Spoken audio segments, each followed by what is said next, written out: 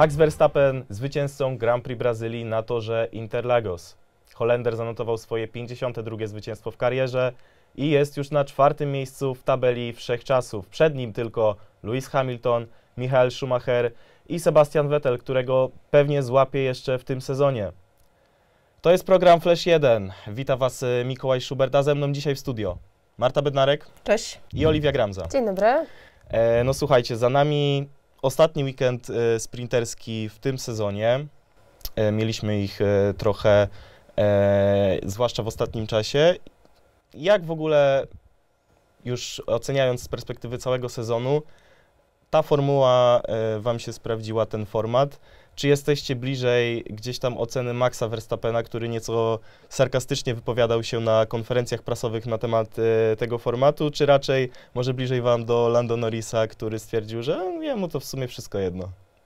Y, moim zdaniem no, jestem blisko opinii właśnie Maxa, no, które y, nie dość, niezbyt przychylnie się y, wypowiadał na ten temat.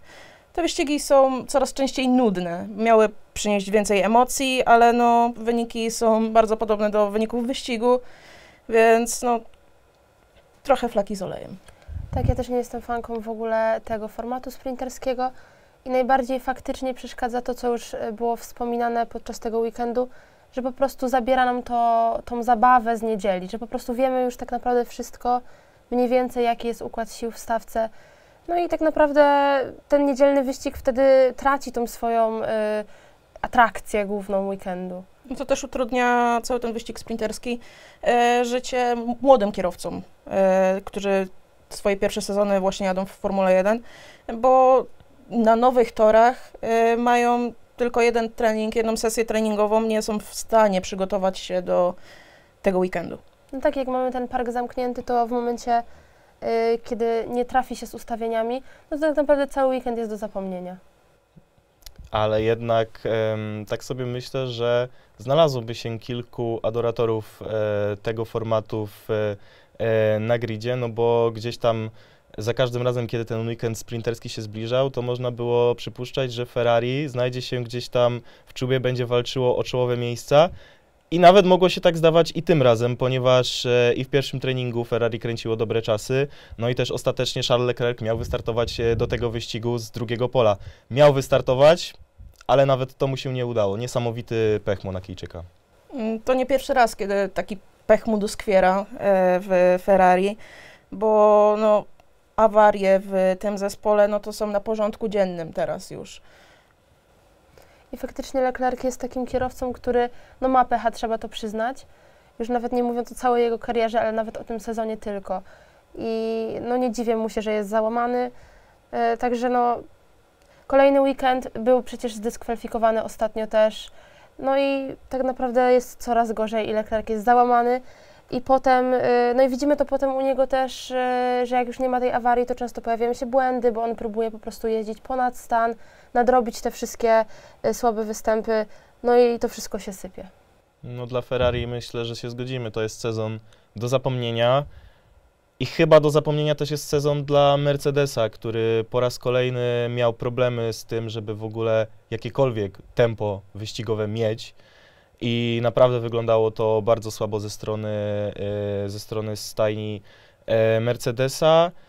E, tak się zastanawiam właściwie, gdzie leży przyczyna tego, że Mercedes nie może gdzieś tam czy to jest po prostu kwestia słabego bolidu, e, czy tego, że nie mogą trafić z ustawieniami, no bo szykuje się Las Vegas i no dużo mówiło się o tym, że ten Mercedes jest e, bardzo toporny e, i nie radzi sobie gdzieś tam na prostych. Czy widzicie szansę na poprawę w ko- kolejnym wyścigu dla Mercedesa? Mm, To jest zbyt krótko, żeby mówić o jakichś drastycznych poprawach. Nie błyszczą ostatnio.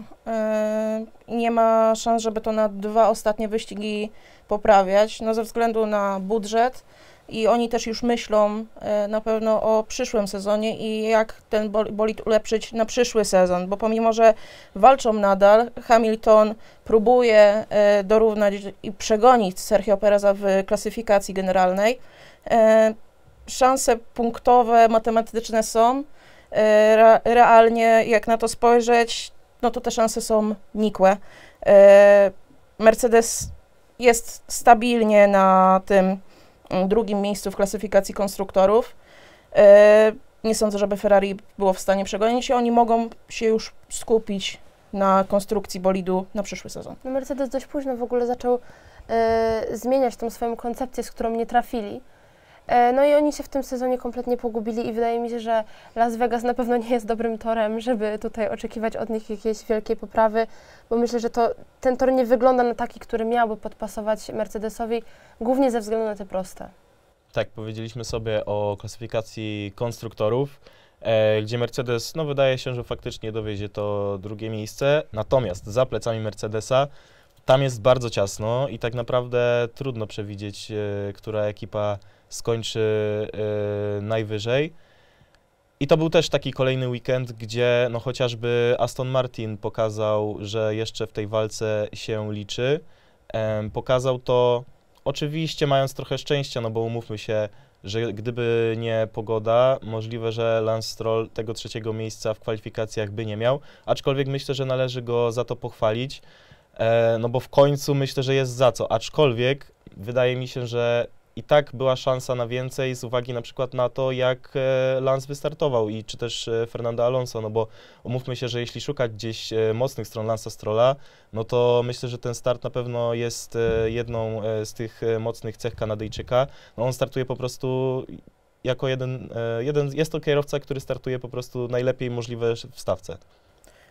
Tak, tutaj też trzeba Strolla pochwalić, jeżeli chodzi o tempo w tym wyścigu, bo no mnie zaskoczył. Ostatnie wyścigi, właściwie od początku sezonu wyglądał bardzo słabo w kontekście do Fernando Alonso. E, Teraz tego nie było widać. Miał tempo, które dorównywało, odjechał na piątej pozycji, no, co jest zaskoczeniem, jeżeli chodzi o jego poprzednie występy. No rzadko mamy weekend, kiedy możemy tak chwalić Lensa Strolla, ale mimo tego nadal e, Alonso pokazuje nad nim swoją wyższość. E, No ale ogólnie cały zespół Astona Martina na duży plus. E, No i to jest takie ich odrodzenie trochę po serii tych słabszych występów. E, I teraz ciekawa w ogóle jest sytuacja w tabeli kierowców, bo Fernando Alonso na czwartym miejscu 198 punktów, a za nim Lando Norris e, 195 i Carlos Sainz 192. Więc tu będzie bardzo blisko. Fernando Alonso myślę, że nie utrzyma tego miejsca, bo ten tor sprzyjał Astonowi. E, To jest tor podobny, jeżeli chodzi o osiągi, o e, całą geometrię, do Zandvoort, w którym wiemy, że Fernando Alonso zdobył też bardzo dobry wynik. Ale myślę, że jak już jesteśmy tutaj przy temacie Hiszpana, no to naprawdę trzapki z głów przed nim, bo razem z Sergio Perezem postarali się o, o emocje w tym wyścigu, bo tak naprawdę one gdzieś tam były na początku, gdzie już e, trzy samochody wypadły w pierwszym zakręcie, e, a jeden nawet jeszcze przed wyścigiem, e, ale no ta końcówka wyścigu, kiedy Sergio Perez e, gonił Fernando Alonso, gonił, gonił i nawet go przegonił, e, ale jednak Hiszpan okazał się lepszy, no to naprawdę no chciało się tego więcej i no do końca tak naprawdę nie byliśmy, nie byliśmy pewni tego, kto na tym trzecim miejscu na koniec e, dojedzie. Jak już mamy właśnie Maxa z przodu, to myślę, że możemy docenić chociaż fakt, że mamy tą walkę tutaj e, do samej linii mety, e, chociaż w walce o podium, bo to już jest coś. E, No i 53 tysięczne między kierowcami. No to to jest e, no taki finish tutaj Fotograficzny. Dokładnie, więc y, super, naprawdę y, i Fernando Alonso no naprawdę po, y, popis umiejętności i on sobie to też wyjeździł właśnie tą swoją jazdą, bo było widać, że on próbował, pozycjonował się na torze trochę inaczej niż Perez. W No pewnym i- momencie Perez prze- przez radio otrzymał wiadomość, żeby obierał taką samą linię jak Fernando. Fernando słynie z tego, że naprawdę w mistrzowski sposób potrafi się bronić i wynajdować takie linie, e, po prostu nieprzewidywalne dla, e, dla kierowcy, który, który znajduje się za nim. No ale przejdźmy może do zwycięzcy tego wyścigu i do czołówki tej e, najszczuplejszej, no bo Max Verstappen po raz e, kolejny e, zwycięża.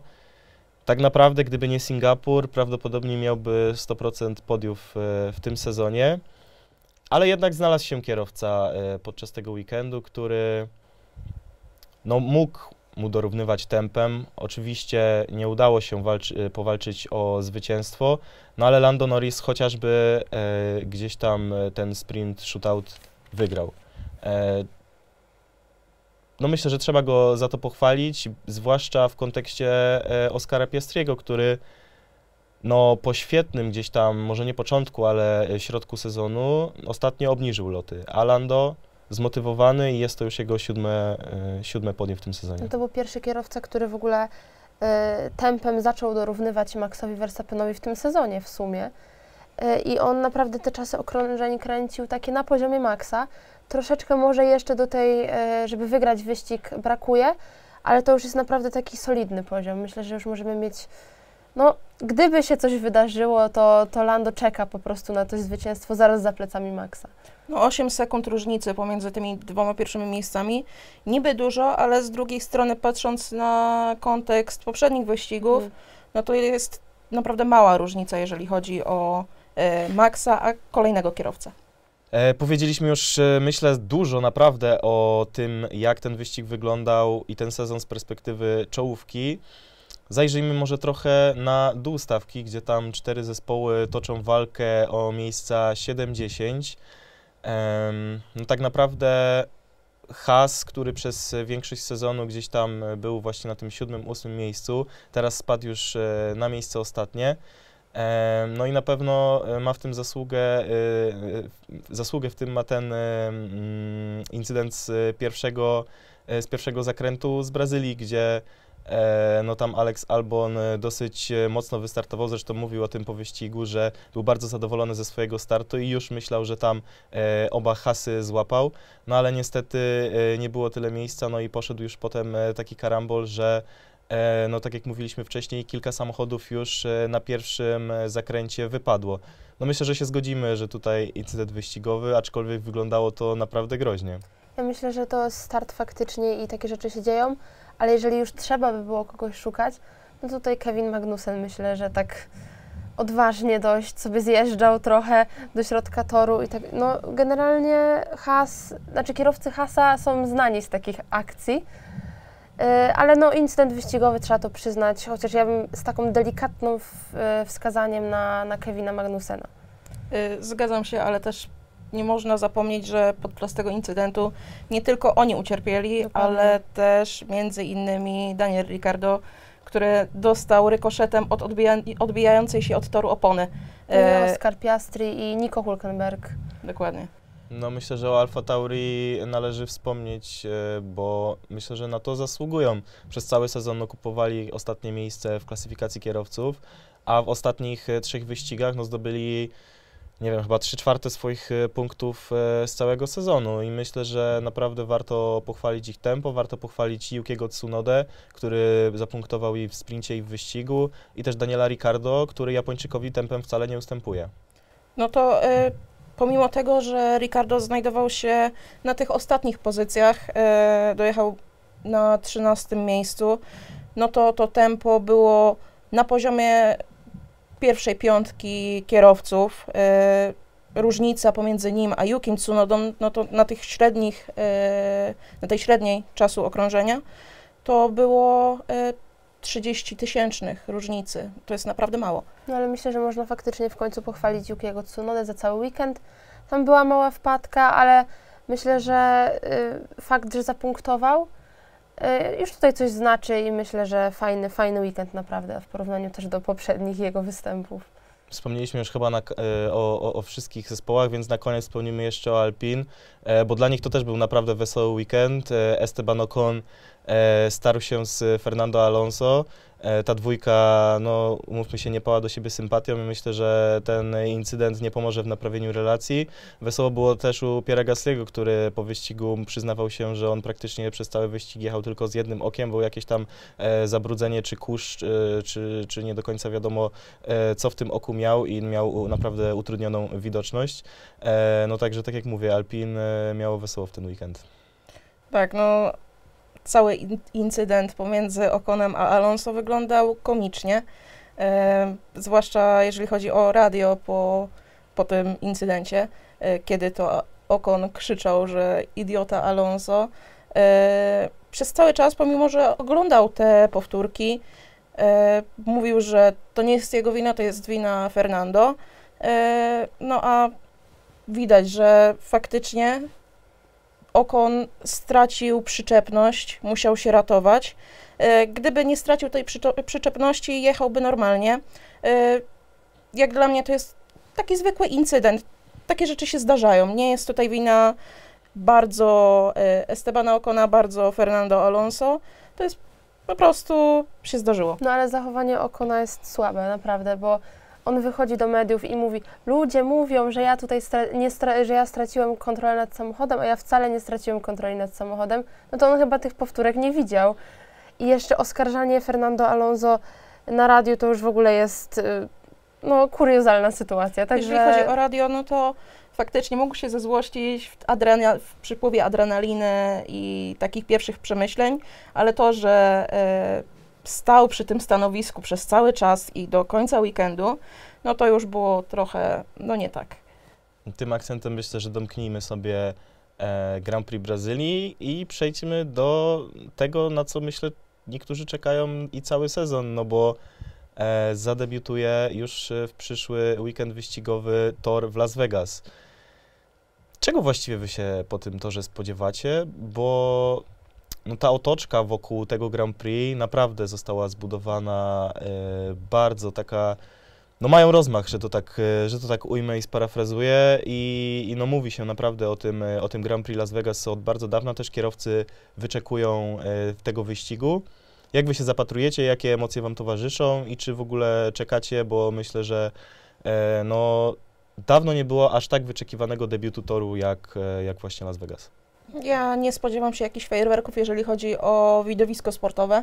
E, Fajnie będzie zobaczyć, jak jeżdżą po tych kultowych drogach w Las Vegas, które widzieliśmy w filmach, E, ale jeżeli chodzi o widowisko, może być bardzo nudne. E, Otoczka będzie duża, będzie, będzie dużo gości. Mam wrażenie, że ta runda będzie bardziej na spopularyzowanie tego sportu w Stanach Zjednoczonych, niż na, żeby faktycznie skupić się na dobrym widowisku. No właśnie ta amerykanizacja Formuły 1 postępuje coraz bardziej. No i będzie to ciekawe doświadczenie to Las Vegas, ale faktycznie ja się zgodzę, że jeżeli chodzi o widowisko sportowe, no raczej ten tor też nie jest jakiś genialny. Także aczkolwiek, no jeżeli już mam mówić, jaki zespół na przykład tutaj będzie się wysuwał gdzieś do przodu, to myślę, że to będzie dobry tor też dla McLarena, bo tam w ogóle będzie zimno. Więc tutaj jeszcze jest kwestia opon, że jestem ciekawa w ogóle, jak się zachowają, jak się będą zachowywać opony. McLaren z dogrzewaniem opon raczej problemu nie ma, więc ja myślę, że tutaj McLaren yy, to może być dobry dla nich weekend. I myślę, że to może być weekend, jeszcze wracając y, szybko do tej walki w, y, na dole tabeli konstruktorów, dla Williamsa. To może być, y, bo są te długie proste i to może być dla nich też szansa. No to zobaczymy, e, czy tak e, faktycznie będzie. Zobaczymy, jak to Grand Prix e, Las Vegas się potoczy, ale myślę, że o tym słów kilka powiemy sobie już w następnym odcinku. A na dzisiaj myślę, że już to by było na tyle. Ze mną byli Marta Bednarek Dzięki, cześć. i Oliwia Gramzo. Dziękuję. Do zobaczenia w kolejnym odcinku.